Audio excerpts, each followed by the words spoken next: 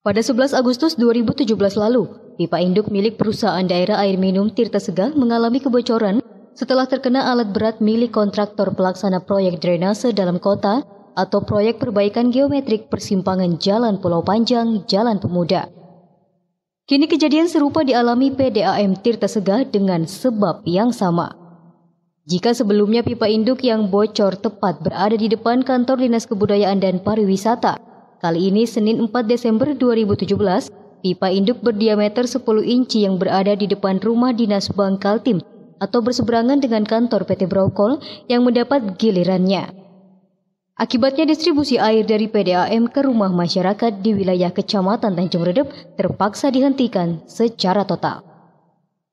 Direktur Utama PDAM Tirta Segah Adif Mulyadi melalui Kepala Bagian Teknik Ian At mengatakan, Akibat kebocoran pipa induk tersebut, pihaknya mengalami kerugian berlipat. Selain kerugian karena proses distribusi air ke masyarakat terpaksa dihentikan secara total. Air distribusi juga banyak terbuang percuma. Kami dari PDAM khususnya di bagian teknik, ini kami ada sedikit gangguan di pipa induk 10 in dengan adanya proyek drainase. Jadi pipa yang 10 in kita tertarik sehingga menyebabkan kebocoran dan kami juga mohon maaf yang sebesar-besarnya kepada konsumen PDAM khususnya di wilayah Tanjung Redep. Kami tidak bisa mendistribusikan air sebagaimana mestinya. Khususnya untuk wilayah Tanjung Redep pendistribusian air PDAM ini kami matikan total. Total ya?